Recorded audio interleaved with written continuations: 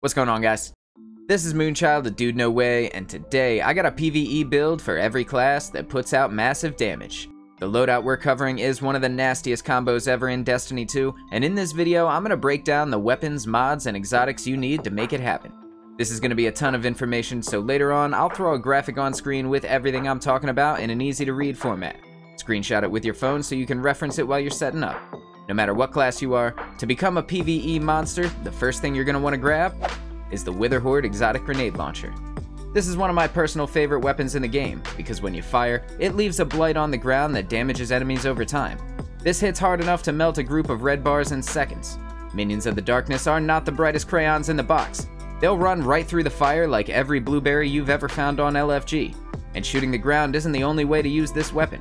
If you direct impact an enemy, they're going to start burning out, if they die while affected by Witherhoard, they crap out a blight on the floor for you, and you can use this to easily clear out rooms full of enemies.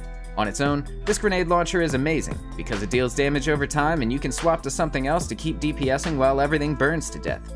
There are a ton of great options to pair with this. Slug shotguns like first in, last out can really dumpster a boss, but if you run that, you're competing with Witherhoard on the special ammo economy.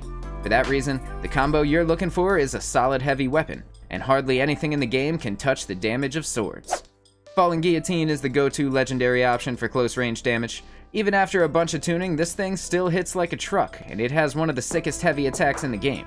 You can snag one for yourself as a world drop, or by turning in tokens to Banshee 44 in the tower. These two weapons together is a tactic I call Wither Sword, and the damage this does is nuts. When you start going off, it's rest in peace to any boss or yellow bar enemy. But with the power of mods, we can take it from strong as hell to downright overpowered. The mod Blast Radius makes you charge with light whenever you get a double kill with a grenade launcher or a rocket launcher. This means every time Witherhoard melts a group of red bars, this mod is guaranteed to proc. Slot Lucent Blade and High Energy Fire to buff your weapon's damage and spend those charges.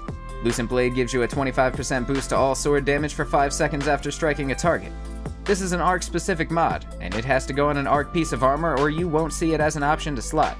I apologize in advance for how many times I'm about to say arc. Lucent Blade has a secondary effect that makes your sword heavy attacks recharge faster, which is amazing and synergizes perfectly with Guillotine and that sweet spin attack. Here's the rub. You gotta slot another arc mod somewhere in your gear for this to activate. The cheapest arc mod is arc damage resistance on your chest. This is only one energy and it does work, but I don't recommend you use it, and I'll tell you why in a minute.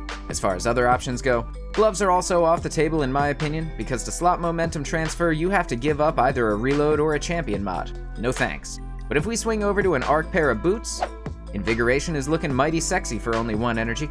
You miss out on having a second scavenger mod, but that's a small price to pay.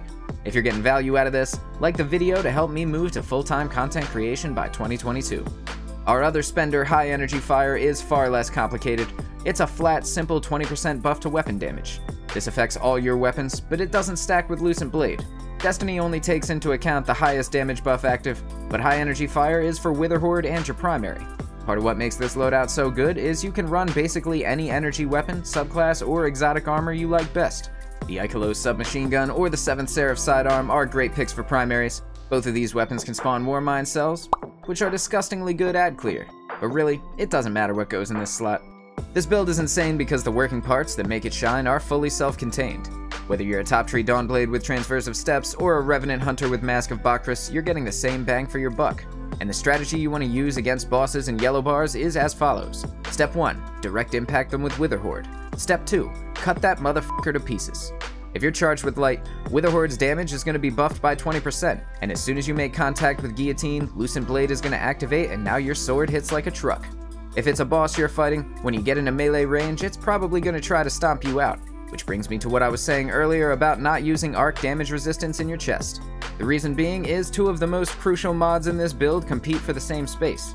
Concussive Dampener gives you a hefty damage resistance to anything that deals splash damage. Most bosses use these types of weapons, and this is going to make sure those couple of shots that hit you on the approach don't put you down. When you get there, the mod Melee Damage Resistance gives you that same 25% reduction to anyone in close range. This means stomp mechanics are to hurt a lot less. You can't deal damage when you're dead, so make sure you slot these mods so you can live to fight another day. This loadout works so well that when I took it into Gambit, I ended up carrying the team harder than I ever have. The ad clear was amazing, and by the end, the enemy team was just depositing their final motes when our Primeval bit the dust. When you look at the scoreboard, Not only did I deposit more motes and kill more PvE enemies than anyone on the team, when we flip to the next page, I dealt like 10 times as much primeval damage as the guy in second place. And speaking of Gambit, I heard a lot of you guys are really enjoying the game mode, so I'm going to break down some tactics, subclasses, and exotic armor pieces you can use to help you win more games. To check that out, all you gotta do is click the card on the right. Thanks for watching.